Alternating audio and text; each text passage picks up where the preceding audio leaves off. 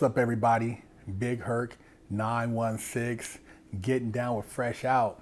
Make sure you hit that subscribe button, hit that like button, share the channel, and go to freshoutseries.com and pick up a bar soap and wash your ass, because ain't nothing worse than a funky ass. Man, you guys have been asking, so we came through. We have more females on the channel now giving you game on how they got into a life of crime. And I'm here with Megan, and she's about to drop some game on you guys. Megan, thanks for reaching out. Thanks for coming on the show. Um, could you share with our audience a little bit about your background and how you got caught up in the system? Man, that's a loaded question. Um, I was like on my own since I was like 13, you know? So um, I got into drugs, super hard drugs. I was running amok as a kid. I was in and out of juvie. I, I guess, carried that into adulthood. I started, you know, using IV drugs. I was homeless like years. Where did you have both parents in the household? No, so I had never met my dad. I had my mom and my stepdad, but you know, we just didn't get along. So, so yeah, it, one thing you know turned into another, and I was pretty much doing anything I could that was illegal. So, like going to juvenile hall, um, because I've been to juvenile hall, did that do anything to uh, deter deter you, or was it more or less like amplifying just that street life? you know, it was a super deterrent because straight up, juvie's harder than jail. Like, juvie here was a kick in the ass for real. Like, it was hard. But I didn't know any better, so I just kept returning, kept running. Did you have anybody giving you any advice? Like, when you you know when you would get out of juvenile hall and be like, look, you got to turn your life around, or did you have any positive role models in your life, like a family member or anybody who tried to give you any sound advice? No, nope, never. And at that age, you know, in your early teens, when you're caught up in the street lifestyle, I mean, who were the people that were mostly influenced you? Were there other like teenagers who you had linked up with just along your path? Or how'd you how'd you get mixed up with these people? I mean meeting them on the street they were all older. Some could buy liquor some uh, were like 18 and up. Yeah. And it was it was anybody i ran into like if i wanted to get high with somebody or hang out with somebody or go do something i just did it so what about school? Were, were there any teachers or anybody that you could talk to or, you know, high school, did you actually go to class or did you graduate or? No, I, I dropped out. I, I did my freshman year for three weeks and I dropped out. Wow. Yeah. And what was it like for a young person like that living on the streets, knowing that like, you know, most of your friends are in school and they're going to basketball games, football games and prom and stuff? I mean, I guess I never thought about it not until I was older. I didn't care. And I was I was you know, focusing on taking care of myself in the streets, not thinking about that.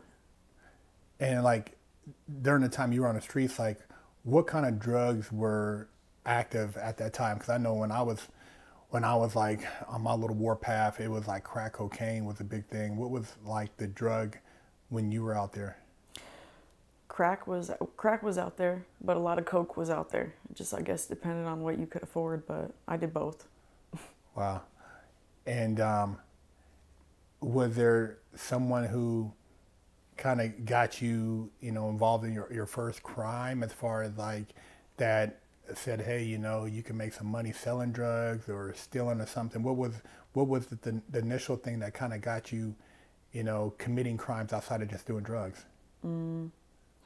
It was a mix between selling drugs and graffiti, actually. Okay. Yeah. So you were like tagging buildings mm-hmm. and stuff like that? yeah. How'd you get into graffiti? Man, um, a lot of my friends did that, and I was into art, so it was just a thing to do. Graffiti crews, party crews, trouble, whatever. Did you did you have a boyfriend? Yeah. Was he a bad influence too, or? yeah, I'm pretty sure they all were then. They Yeah. were pretty bad. So what was like a turning point during that time that like, you know, things kind of went more, more left and right? Um, meeting my daughter's dad, he had a pretty bad opiate addiction, and I didn't Mm. know about that. I had never seen it, um, but it wasn't long before I was doing black, and then moved from smoking it to slamming it, and things took a turn for the worse for real after that. In, in your, in retrospect, in your, in your perspective, as, as far as looking at all the drugs, do you, do you think that like that was like the worst that took you down the darkest path? Yes. That and meth.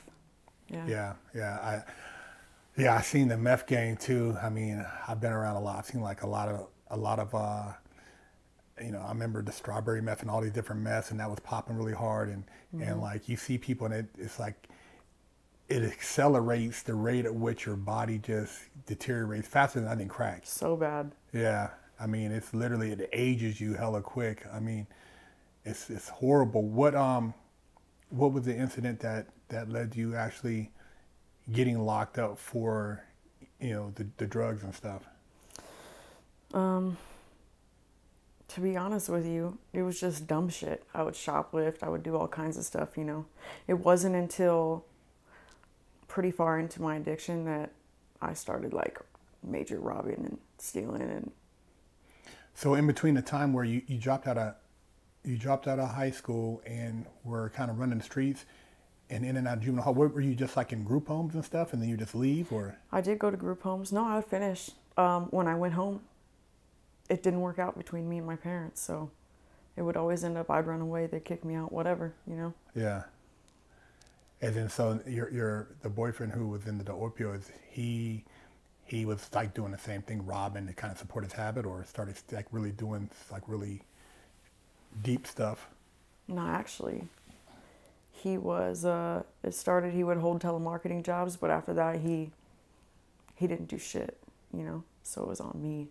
Mm. It was on me to make money and take care of things because he was weak. What was it? What was the um, the last straw? The thing that actually got you locked up to where you had to sit down for a while. That was like your what would you call consider your wake up call? The crime that was like you couldn't just revolving door situation.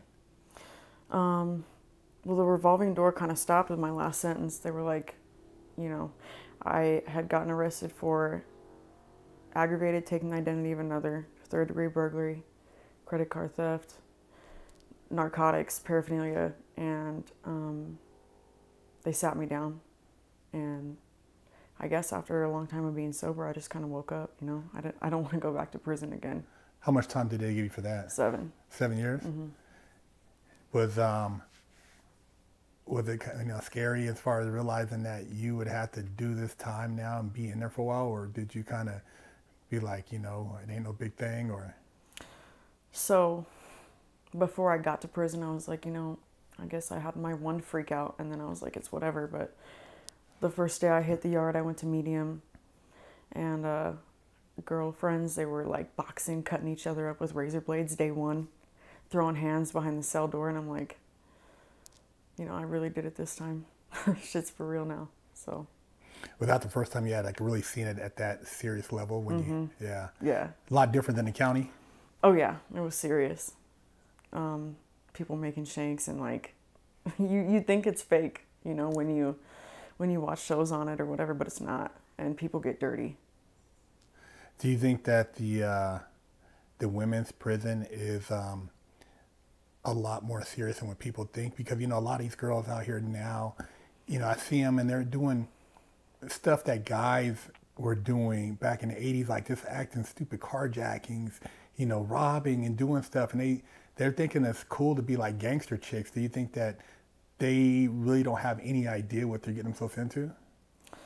Um, it depends, I guess, on the time because if you're going to minimum, like it's not that serious, you know. But if you have to start on medium or max, like where you're you're sitting down with lifers and they don't have anything to lose, you know, they don't care. So you got to learn respect and you got to learn it real quick. Or And the first place you went to was that a, a medium or? Medium, yeah. And were there people mixed in there that were actually doing life? Mm-hmm. Was there any anybody in particular that when you got there and you realized the caliber of people you were around of like, oh, this shit is for real? Like somebody who had a gang attack or somebody who had a crime that you heard about that was like you couldn't believe it, something that kind of like just shocked you into like, you know, this is this is my new reality. I mean, I guess in terms of like popular women, Yeah. it would be Jodi Arias. I had seen her a couple times, but but there's many more women on medium units that aren't ever gonna walk out of prison that like have put their babies into pillowcases and beat them up against walls and like all kinds of crazy stuff like like crazy crazy people. People who starved kids people like and and the sick thing is right is like you're on a medium unit and you can't show your pictures of your kids to people because you don't know.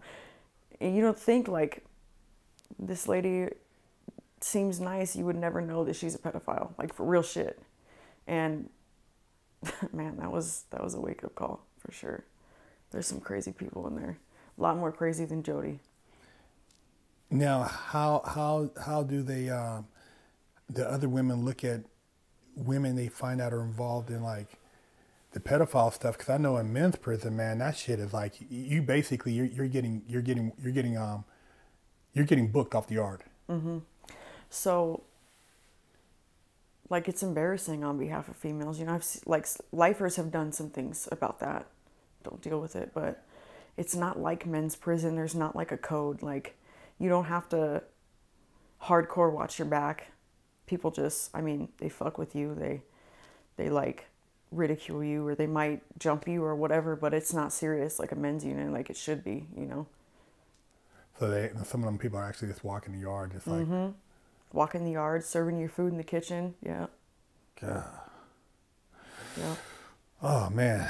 Um, did it take a long time after being incarcerated for you to kind of figure out that this wasn't the life for you? I know for me, as soon as I got the handcuffs on, I was like, man, this is it. I'm, I'm done. I got to do something different. But I know for some people, it takes them a while, you know, to be locked up to really feel that, you know, I got to make some life changing decisions. How long did it take for you, or was there a moment that really snapped you into like your your your rehabilitation phase? you know, like I can't really pinpoint when it was. I guess it was a couple years in when I stopped being angry about being locked up and I started to realize what got me there. My friends were dying, they were all overdosing. Um, I guess I just had enough time to sit down and think, and I'm like, I think about, man, I got here, I'm 24 years old, I'm not leaving till I'm 30 if I get a program. Like, that's crazy. And I've spent so much of my life and I've wasted so much of my life doing crime, going in and out of jail, and I have nothing to show for it. And it's not, it's not what I want. Yeah, that's deep. I mean, um, I know for a lot of people, it, it really takes, even, you know, being locked up, a lot of people like, oh man, you know, I heard people say, you know, you still got one more in you. I'm like, dude, I don't have any more in me. I'm, I'm like, I'm cool because, you know, if I'm to be 30, you know, 30 something when I get out and people are like, man, you're still young. You can get out there and, you know, get back in the game. I'm like, for what? You know, so I, I, I think it's um, definitely a, a- a choice you got to make on a personal level, and the people you hang around with in there have a big influence on that. Mm-hmm. They do, and everybody's sitting outside and they're smoking and they're talking about how, how um, gangster they were, all the shit they did, and it's like, when you get over that hump and you're not like that anymore, you look at them and you, it's almost sad, like you pity them, you know, because Yeah. they're just gonna keep coming back. Yeah. I mean, my neighbor was like 72. Damn. 72. Damn. Yes. Like sad about to turn 73 before I left. I'm wondering if she's going to die in there, you know. Husband died while she was in there. Like and you just got to be tired of that shit, man. You got to Was she in and out? Not that I know of, but she had like a career, man, embezzling and Isn't that crazy when you see somebody like that that could be like your great grandparent or somebody? You're like, God, man, this is somebody's reality. They're in here mm-hmm. in their 70s. yes. In here in their 70s during COVID, crazy. Crazy. Wow. Lots of people, I mean, I, I've seen people get released and come back like three, four times before I ever left once, you know? So that was, And you know what? You know what? When when you see those people and they come back and they're like, yeah. And then people, people are listening to them telling the story. I'm like, dude, you, why you want to listen to them? They were, they had freedom and they came back. Mm-hmm. It's like you're a dumbass. Why are you in here bragging like, oh yeah, I went out and I did this and that, but you came back. with more charges. Like I know it's crazy, and I kept thinking every time I would see that, like man, if somebody gave me one chance, like that would be all it would take. I'm not, I'm not coming back here. You know? Yeah, I, I was the same way when I seen you know somebody like you know oh the halfway house man I was in there they were tripping man. I just only smoked weed once and I can't I'm like dude what do you you just did 15 what are you thinking? It's like you, you don't like it out there. Now you're coming back and you act like you're all cool and you're coming in the same chow line with me. You could have been eating burgers and steaks. Mm-hmm. That's crazy man. Yeah. hey there you have it. Big Herc 916 getting down with Megan on Fresh Out. You tired of smelling like stanky butt, funky armpits? Wash your ass. Go to freshoutseries.com and pick you up a bar of soap